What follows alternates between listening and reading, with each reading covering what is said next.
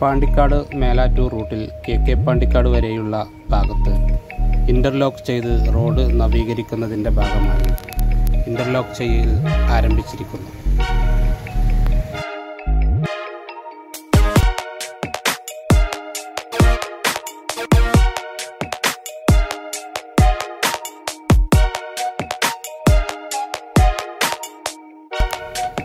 കിഴക്കേ പാണ്ടിക്കാട് മുതൽ പാണ്ടിക്കാട് വരെയുള്ള ഗതാഗതം പൂർണമായും നിരോധിച്ചുകൊണ്ടാണ് ഇന്റർലോക്ക് നടപടികൾ പുരോഗമിച്ചുകൊണ്ടിരിക്കുന്നത്.